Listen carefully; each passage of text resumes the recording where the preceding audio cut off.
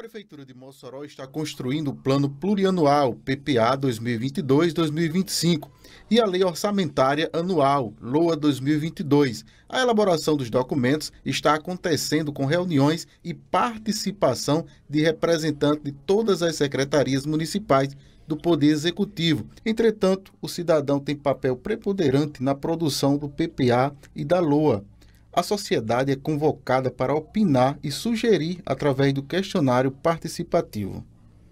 Para participar, o cidadão deverá acessar o site www.prefeiturademossoró.com.br, clicar no banner destinado ao orçamento participativo e responder o questionário. Estamos disponibilizando o questionário participativo aberto a toda a população, com o intuito de oportunizar ao cidadão contribuir com sua percepção na construção do orçamento municipal e do plano plurianual, trazendo suas opiniões, apresentando propostas de aplicação dos recursos municipais para os próximos quatro anos. Destacou o titular da Secretaria Municipal de Planejamento, Franklin Felizardo.